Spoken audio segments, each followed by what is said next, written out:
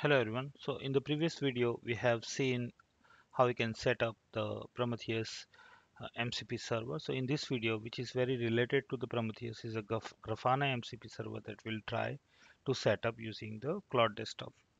So what I will do simply first of all we have to run the Grafana.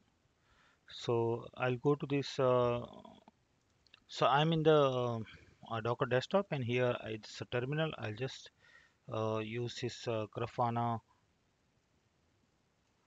Docker command paste over here. So it's a docker run and then uh, it will be in a port 3000 and simply a grafana and this image is grafana. So let's see. So it will start installing. I'll pause the video. So our grafana server is running. So let's uh, go to this browser and run into 3000 and grafana server is running so just put a simple admin admin as a default. Okay.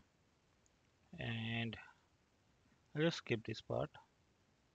And I'm here in a dashboard. What I will do is simply go to this administration and go to the user and uh, click on a service account.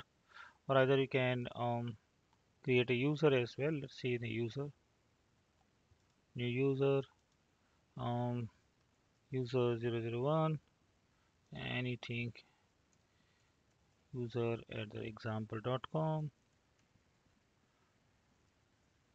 I simply say 001 and again yeah and any any password you can put okay? Create a user I'll also create a service account because we required a service account uh, for the Grafana MCP server. So I'll just simply say service account 001 and role I'll put an admin so that it can do a function. Um, I'll create this add service account token because we required that. Generate token just copy this and paste somewhere you know uh, secret places. Okay and I'll close it. Okay and in the dashboard we do not have any sort of uh, things connection and data source. So let's add the data source. And I'll add this Prometheus okay? And this should be enough. Everything look good. Now let's go to this. Again data source and we do have the data source. Okay okay fine. Now we we, need to configure this uh, uh, MCP server. So what I'll do is simply I'll append the MCP server over here uh, so Prometheus and Grafana together here if you can see. Now Prometheus and now we have a Grafana okay? So again it is a pretty much similar to that. And here uh, we added the network host just to you know um, it can connect the similar to this here previously. So it can go to this local host. And Grafana URL localhost and here is a API key. If you remember we have um, saved uh, generated the new token we just need to update this token over here. All right that's also simple. Again nothing. It's pretty much similar to Prometheus that we have already seen. And here there are certain things like Grafana URL, Grafana API key you are passing as an environment variable. This is an image name. And you can see MCP Grafana okay looks pretty okay. So now uh, if we go to the task manager and you can see if any Claude desktop is not running. So now let us uh, try to run this Claude desktop. And I click over here.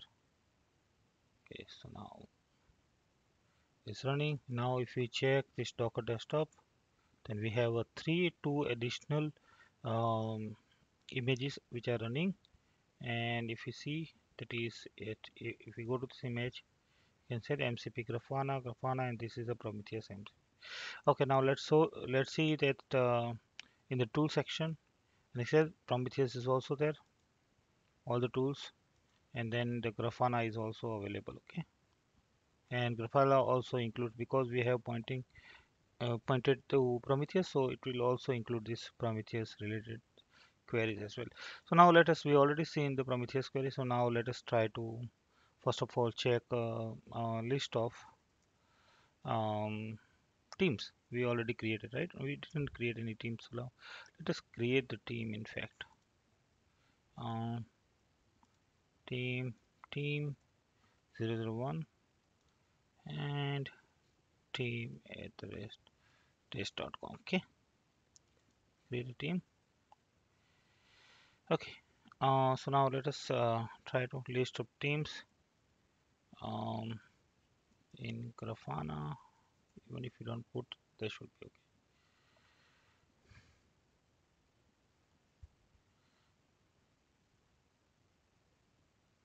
Okay so team 001 is there. Okay so now what I will do is simply um, list of users let's see. Allowance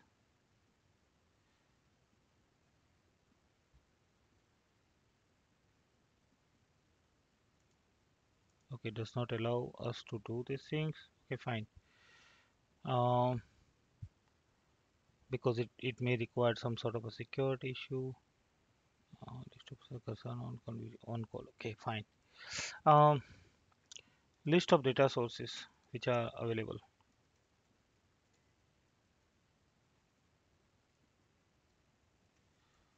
Let's try that.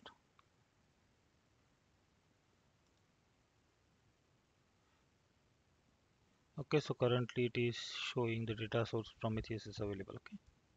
If we add this uh, new data source it will also show there.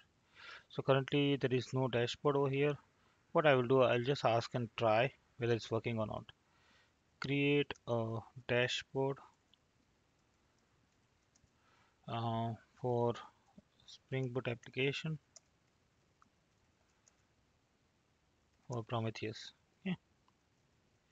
for JVM metrics only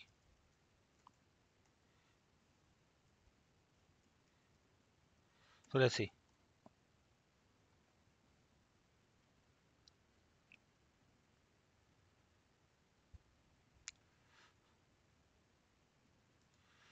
allowance